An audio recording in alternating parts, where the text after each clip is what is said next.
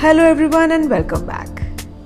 These days, weekdays pass by in a blink of an eye. So, to keep up with this fast pace, I strongly believe in good planning for a well organized system. Having a routine to organize tasks around you can help in easing out the constant pressure of work and home management. So, I decided to share my weekly organization routine with you all that is sustainable and helps in managing my work, home, family, and me time well. So, let's get started. I start by organizing the most demanding action of the week that is cooking. And this organizing task starts a day before when I sit and make a detailed weekly meal plan. I have raved a lot about meal plans in my previous videos as well because a meal plan is a great solution to most of the issues. What veggies to bring, how to add variety and wholesome nutrition in my food, how to consume pantry stock, is it time for grocery shopping, or what to cook when you're too busy are few of the many, many problems which a great meal plan solves. I usually go about making a weekly meal plan and it takes 15 minutes to have a list in hand.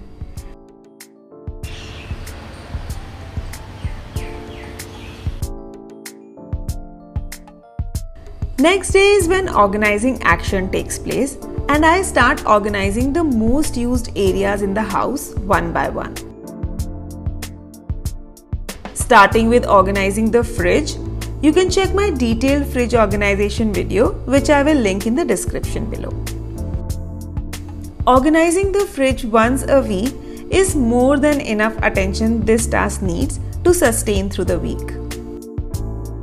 Bringing only limited veggies as per your meal plan will also save time in organizing the fridge and gives a clear sight of what is inside. Also, kitchen and pantry is a daily affair, so I don't include them in my weekly tasks. While I got some great ways of storing veggies in the fridge, I still struggle with cucumbers. If you know a best way to store them, please let me know in the comments. Second most used area in the house is my shoe rack although Karthik is the only one using it most frequently, but by the end of the week, it just looks a little messed up. Cleaning and organizing goes hand in hand, and since it's monsoon time, I like to take extra effort and special attention to this area. I also do shoe rotation for myself, else, I usually end up wearing the same shoe all the time. Then I go ahead and organize all the cupboards and drawers in the house to give them a fresh and clean look right at the beginning of every week. Earlier, I used to put the 10 minute alarm on the phone so that while doing these tasks, I should not get lost in this whole organization situation. But with time, it has become a habit. And now there is a self timer running in my mind reminding me to do just the required touch ups. There is a very thin line between being busy and being productive. I can go on organizing the whole day, but then other jobs in the house will hamper. So, striking the right balance is a key to being productive. Once the most used areas of the house are organized, I then pick up one weekly project which calls for deep organization. Like this drawer definitely needed a renovation, so this week's task was to tick this off the list. There are so many places in the house that get some special attention every now and then. Either a space needs a deep cleaning, an organizing system, or reorganization but picking them all at one go is very overwhelming.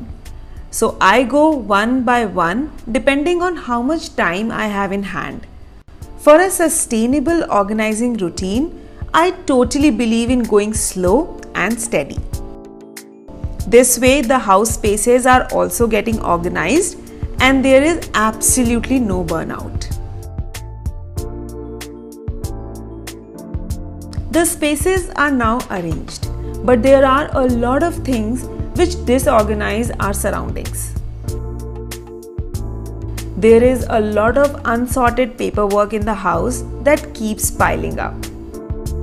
So instead of letting them become a huge load of projects by sorting once in a blue moon, I make sure that I dedicate 10 minutes of organizing these papers in the house on a weekly basis. Sorting them, arranging them, filing them properly, highlighting them to take actions, or throwing unwanted bits are a few steps that ease out in managing these unseen tasks. This surely saves me from any last minute issues, paper hunting, or panic of missing any deadlines, and most importantly, make me feel clutter free. And after sorting the physical papers, I also take some time to clean my phone because otherwise, a lot of junk images keep accumulating and the important ones get lost very easily. Especially if you're a parent of a cute infant or you have kids at home who know how to click pics by swiping on the home screen. I am very forgetful when it comes to remembering days, dates, and events. So I make sure I organize my calendar ahead of time. 10 minutes of time goes into checking if there are any important events in the coming week to help in taking desired actions before time.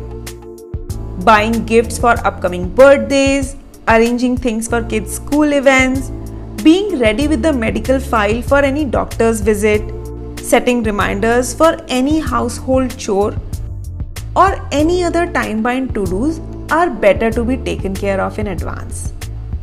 Also, if there are some important highlights, I just add them in Google Calendar and they pop up right in front of me whenever I need a reminder. If you want people to stay organized the way you want, include them in your organization system. I sit with Rutvi every weekend to follow up on her tasks.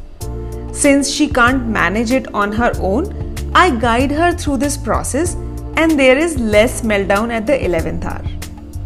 Her homework, her timetable for coming week, any activities scheduled, or brushing up on the past work done helps in keeping her schoolwork organized, and I also stay at peace knowing that it's all done and sorted. And lastly, I plan, organize, and update my next week's agenda and tasks. Pantry details, shopping list, to dos for next week for house and my work and other lists help me in giving easy reminders which goes a long way to immediate future planning. I am a slave of lists. So I go with this old school method, but I also set this list on my phone for easy accessibility. While this list keeps updating over the week, taking those major tasks of the week by the end of the day feels so satisfying. Organization is a process one creates for their own convenience. Make your own system and enjoy that process because when it comes to organizing your home and life, you are your own boss. While there will always be surprises, but having a firm organization routine in place acts like a cushion during pressure situations. Hit that like button if you found this video helpful in planning and organizing your coming days. And let me know in the comments below if you also plan or organize your week in advance. Do subscribe to the channel for more such videos and drop me a hello in Instagram for more chit chat. And I will see you in my next video. Until next time, stay tuned.